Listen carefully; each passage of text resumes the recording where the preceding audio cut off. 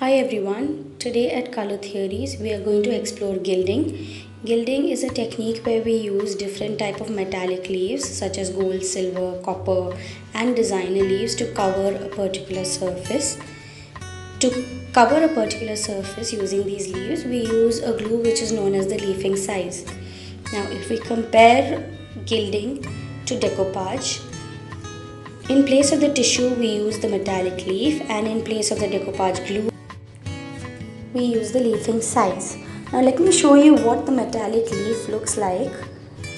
So this is a gold metallic leaf. You can see how thin it is. So if we have to stick this onto a surface, we need to use a very thin glue which will not tear the leaf when you place it on top of the surface. Now I've taken some of this leafing size and I'm trying to cover a flower which I will be gilding. So I have a couple of these flowers which I will quickly apply the glue on. I am making sure that the glue that I've applied is a very thin layer because if we have blobs of glue then it will tear the metallic leaf. It's been about 15 minutes that I let the glue dry on these flowers and I've made sure that my hands are not sticky by washing off the glue that's on my hands so that I can easily lift this leaf and place it on the flower. So what I'm going to do is I will dab on top of this surface using a tissue so that I make sure that the metallic leaves stick perfectly onto each.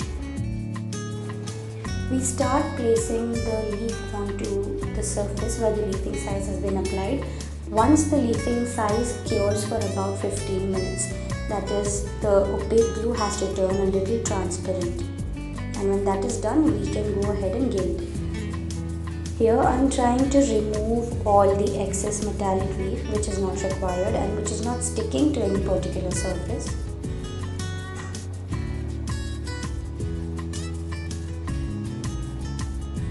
And whatever excess leaf is there, you can go ahead and store it in a container. These are called as gilding flakes. You find gilding flakes also in the market and you can just store your own gilding flakes like this.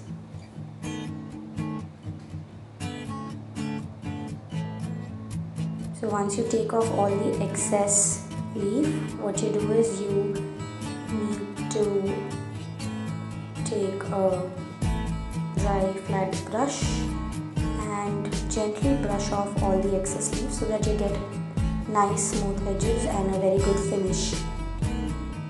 So I have a couple of flowers here which I will clean up.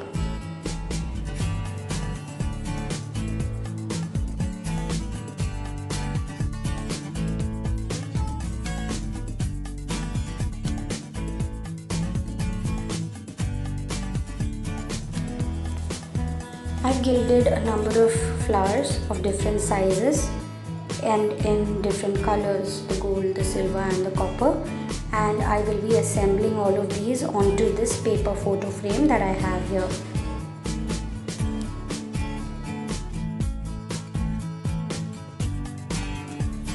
You can use the technique of gilding to cover any surface that you want to. It could be plastic, it could be metal, it could be wood, paper or even if you have some old vase or a showpiece at home you want to convert into something which looks beautiful then you can gild that as well. The only thing that you need to keep in mind is that once you're done with the process of gilding you'll have to cover it up with a coat of spray varnish and then you can additionally varnish it using wood varnish or the aqua varnish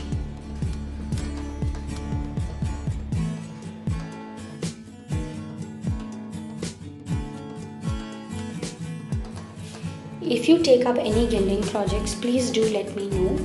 I would love to hear from you and if you have any queries, do let me know in the comment section below. Thank you so much for watching this video. Let's catch up in the next one. Stay tuned. Take care.